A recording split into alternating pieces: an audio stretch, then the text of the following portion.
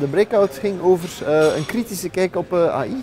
Uh, er wordt vanuit gegaan dat AI alles oplost in HR. dat is ten dele zo, maar dat is niet noodzakelijk alles oplossen. En de breakout ging erover van wat doet AI nu eigenlijk in HR en wat lost het eigenlijk op en wat lost het niet op. AI is uiteraard hype, dus uiteraard is de autonomie gelinkt aan AI. Maar de realiteit is dat we eigenlijk al 15 jaar beslissingen nemen, dus artificiële intelligentie, beslissingen nemen in het uh, recruteringsproces. Concreet, wat doen wij?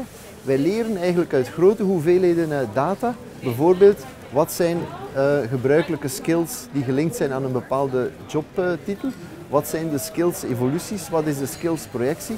En die informatie gaan wij gaan gebruiken bij het zoeken en matchen om eigenlijk niet het klassieke zoekproces op basis van boolean en op basis van keywords, maar op basis van impliciete informatie. Je zoekt naar een bepaalde jobtitel.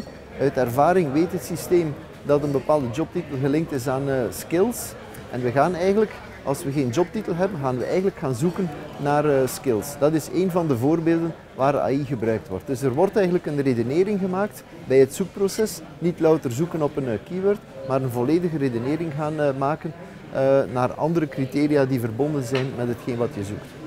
De Belgische recruitmentmarkt, voor te beginnen, bestaat niet. Er zijn twee markten. Je hebt een Vlaamse markt en je hebt een Waalse markt. België in zijn geheel, Vlaanderen, is globaal genomen veel minder innovatief en veel minder open voor nieuwe zaken uh, ten opzichte van Nederland. Je merkt dat ook. In Nederland is er een echte HR-markt. Uh, heel veel spelers, heel veel aanbieders, maar ook heel veel grote dienstverleners.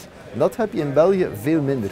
Historisch gezien is dat zo en dat merk je nu vandaag ook het aantal aanbieders, à la Otis, dat heb je in België quasi niet. Uh, het zijn buitenlandse partijen die actief zijn op de Belgische markt.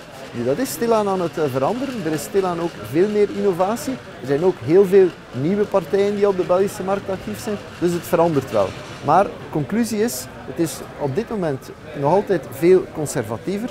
En er is veel meer nood aan echt een community creëren rond HR in België. Wat je in Nederland al wel hebt.